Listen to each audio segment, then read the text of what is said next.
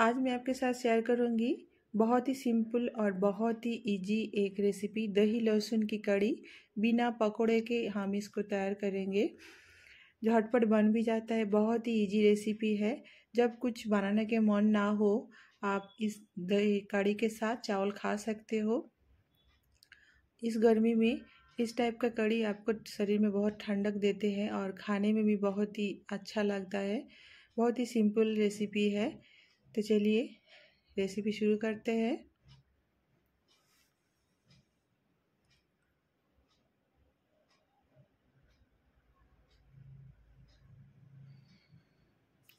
सबसे पहले मैंने एक कप दही लिया है। आप जिस कप के हिसाब से दही ले रहे हो, उसी कप के हिसाब से पानी लेना। कोई भी कप ले सकते हो, उसी कप के हिसाब से दही और पानी का मेज़रमेंट लेना। दही को हम अच्छे से फेंट लेंगे। फेंटने के बाद जिस काप से हम दही लिया है, उसी काप के हिसाब से हम इसमें डेढ़ से दो कप हम इसमें पानी ऐड करेंगे।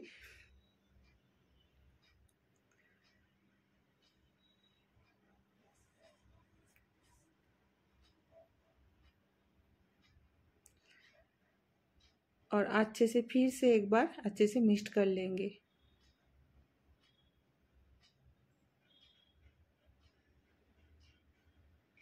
बस एक छोटा वाला कटोरी लेंगे। उसमें डाल देंगे दो टेबल स्पून हम बेसन।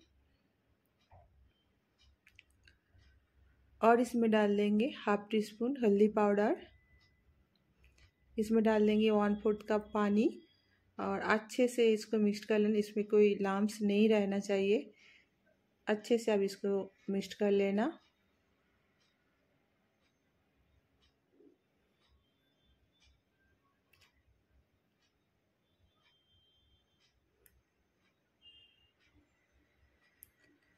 अब अब क्या करेंगे? चार लहसुन की कलियाँ लेंगे, चार से पाँच, और हरी मिर्च दो, और इसमें डाल देंगे हम हाफ़ टी स्पून करीब साबुत जीरा।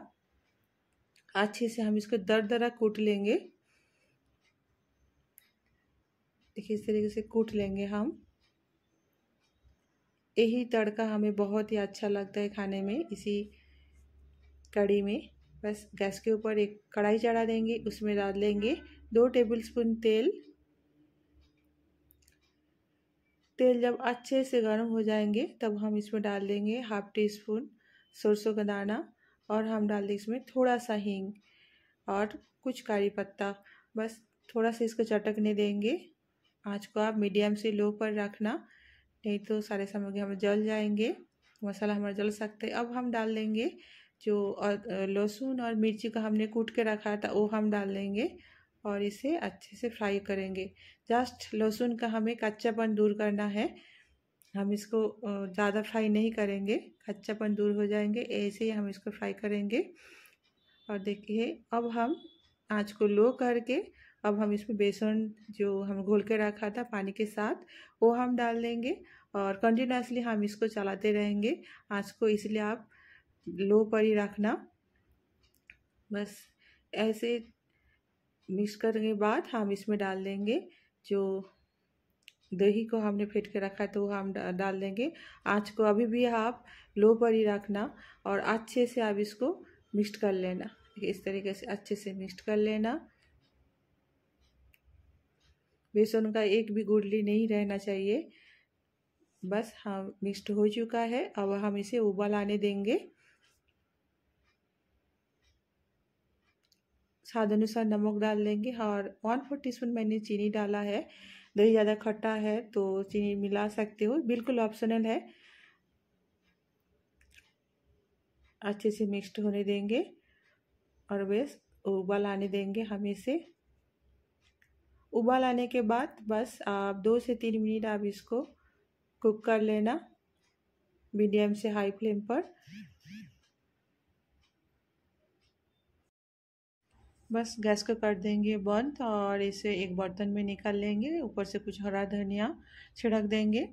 अब गैस के ऊपर एक तड़का पैन लेंगे और उसमें डालेंगे दो टेबल स्पून सरसों का तेल। सरसों का तेल जब गर्म हो जाएँगे तब इसमें डालें दो सूखी हुई लाल मिर्च तोड़े हुए। अब इसमें डाल देंगे एक टेबल स्पून बारीक चॉप किया हुआ लहसुन।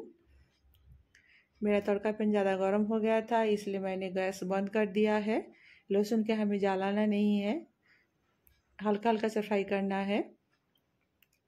हल्का लहसुन जब फ्राई हो जाएँगे, तब हम गैस को कर देंगे बंद। बंद करने के बाद हम इसमें डालेंगे हाफ़ टी स्पून काश्मीरी लाल मिर्च पाउडर। आप गैस बंद करने के बाद ही लाल मिर्च डालना, नहीं तो लाल मिर्च हमारा बिल्कुल काला हो जाएँगे और खाने में बिल्कुल टेस्ट नहीं आएँगे। और ऊपर से हम तड़का लगा देते हैं। दही, लहसुन की कड़ी हमारा रेडी है। आप चावल के साथ इसे आराम से सर्व कर सकते हो। बहुत ही झटपट बन जाता है। रेसिपी अगर पसंद आए, एक लाइक ज़रूर कर देना। और मेरा रेसिपी आप लोगों को कमेंट कैसे लग रहा है, आप लोग कमेंट बॉक्स पे ज़रूर बताना।